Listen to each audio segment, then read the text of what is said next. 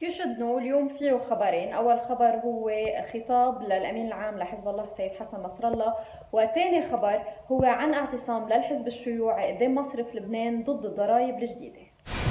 أنا أقول لكم بكل صدق يمكن تمويل سلسلة رتب ورواتب المطروحة أمام المجلس النيابي دون أن يزاد أو يضاف ليرة واحدة على فقير أو ذي دخل محدود في لبنان.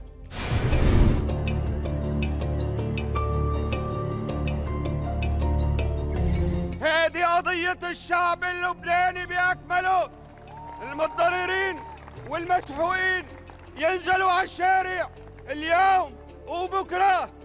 كرمال حقوقهم كرمال حقوقهم بسلسلة الرتب والرواتب كرمال أسقاط النظام الضريبي الجائر على الفقراء.